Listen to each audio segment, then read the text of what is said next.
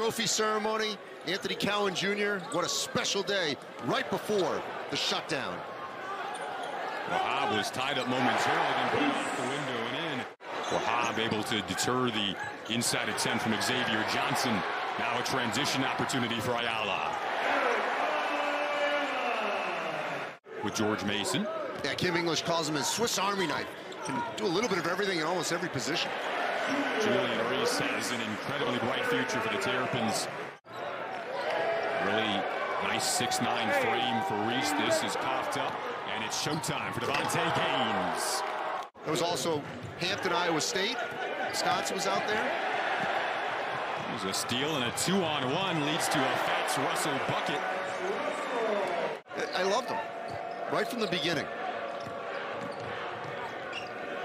Schwartz, a transfer, knocks down the three, his second trade of the ball game. Little helter-skelter now over these past couple of possessions. The lob up, and the conversion from Henry. First couple of possessions, and then it's been quiet. Yeah, there, here it is. Qudus Wahab versus Oduro, and Oduro won that round. That was crafty. Xavier Green brings a lot of experience. Found the freshman Julian Reese, who knocks down the mid-range J. Mark Turgeon felt Xavier Green really stepped up in the second half of that Vermont game. Julian Reese off to a good start. Found a block there. Doing it on both ends.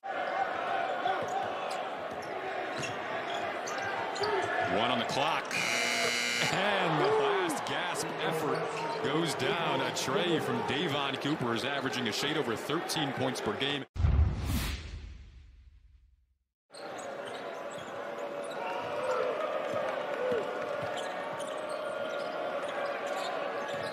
George Mason shot 40% from the field in the opening half.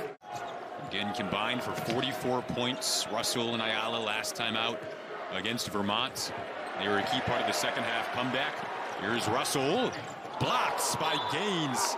A player that he thinks can defend one through four. That's the point through the power forward. That was a power forward move right there. He's able to keep control of it and finish. Hart grew from 6'5 to 6'8 freshman year to now as a junior as a bucket coming off the cut there from D'Shawn Schwartz. Maryland, one of five ranked Big Ten teams entering this week. Mentioned Michigan fell to Seton Hall last night. Purdue, Illinois, and Ohio State are the others. It's Fatts' second turnover so far. The drive. Hartwell was blocked by Martinez. Deservedly so. Richmond, very experienced team that Maryland will face, but George Mason's going to be in the mix in the A-10 without question. Look at this, a 10-point lead. It's good look. Bursting out of the pack comes Xavier Johnson. Into the body of Martinez, blocked by Scott. In addition to us, because he's got 15. Gaines in the corner, able to knock down a three. That's Russell up ahead. The double clutch and a pretty finish from Xavier Green. Boy, Russell just trying to get involved in some way. Only has two points. Another J goes down. Another three for Schwartz. He matches a career high with five triples. Jim Calhoun's still complaining about it. Why are we playing an 11 seed in D.C.? well, that's because they kept winning. Scott off the air ball, so the shot clock didn't reset. Didn't matter.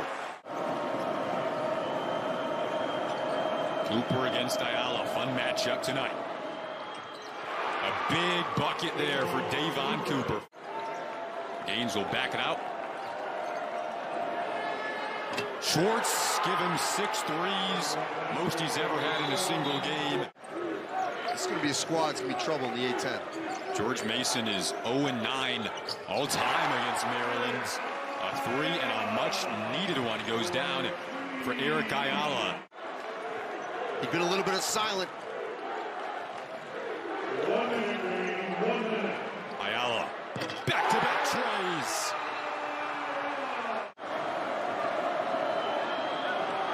Oduro was able to get the defense in the air, makes it a three-point game right as the shot clock was winding down. Scott has been excellent from three tonight. Couldn't find another. George Mason goes on the road and finds their first ever win over the Terrapins.